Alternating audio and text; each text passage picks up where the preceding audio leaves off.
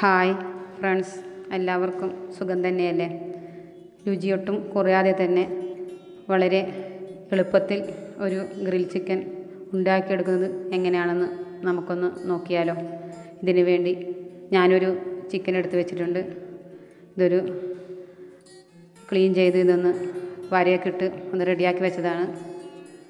ഇതാദ്യം കുറച്ച് ചെറുനാരങ്ങ നീരും ഉപ്പും പുരട്ടി ഒരു അരമണിക്കൂർ വെക്കേണ്ടതുണ്ട്. അതിനുവേണ്ടി ഞാനൊരു രണ്ട് ടേബിൾ സ്പൂൺ ചെറുനാരങ്ങ നീര് അതിൽ ആവശ്യത്തിന് ഉപ്പ് കൂടി ചേർത്ത് ഒന്ന് മിക്സ് ചെയ്തതാണ്. ഇനി ഇതിലേക്ക് എല്ലാ ഭാഗത്തും എത്തുന്ന വിധത്തിലൊന്ന് പുരട്ടി എടുക്കണം. അതിനുശേഷം ഇതൊരു ഫ്രിഡ്ജിൽ ഒരു അരമണിക്കൂറൊന്ന് മാറ്റി വെക്കണം. അപ്പോൾ ഇതൊന്ന് ചിക്കനൊന്ന് നന്നായി സോഫ്റ്റായി കിട്ടും. അതിന് വേണ്ടിയാണ് ഇങ്ങനെ ചെയ്തെടുക്കുന്നത്. ഇനി ഈ സമയത്ത് നമുക്ക് ഇത് റെഡി ആയിട്ടുണ്ട്. ഈ സമയത്ത് നമുക്കതിന് ആവശ്യമുള്ള മാരിനേഷൻ ചെയ്യാനുള്ള മസാല ഒന്ന് റെഡിയാക്കി വെക്കാം.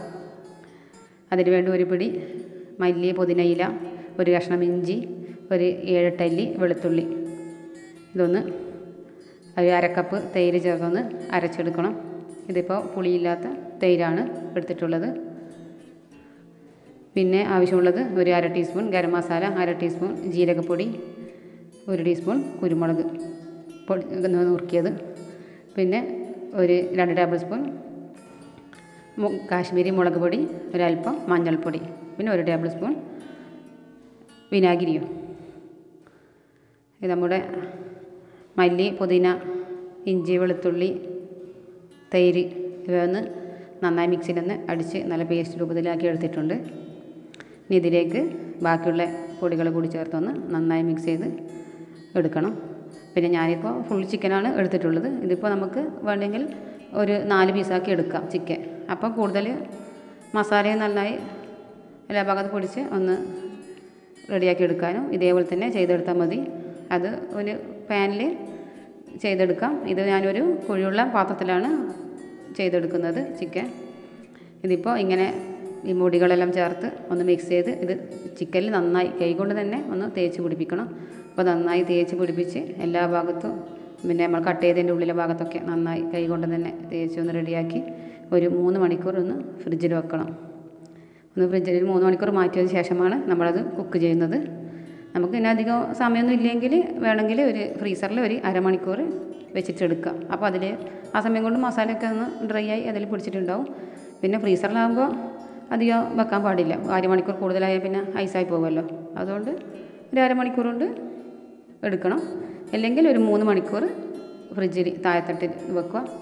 അപ്പോൾ അതിൽ കൂടുതൽ വെച്ചാൽ നല്ലതാണ്. ഇതിപ്പോൾ നമുക്ക് ഒരു കുറഞ്ഞതൊരു മൂന്ന് മണിക്കൂറെങ്കിലും വെക്കണം എന്നാണ് നല്ലത്. നമ്മുടെ മസാല ഇതിലേക്ക് തേക്കേണ്ട കൂട്ട് റെഡി ആയിട്ടുണ്ട്. ഇനി ഇതൊന്ന് നല്ല പേസ്റ്റ് രൂപത്തിലാക്കി എടുത്ത് നമ്മുടെ ചിക്കനിൽ നന്നായി തേച്ച് റെഡിയാക്കി എടുത്ത് വെക്കണം.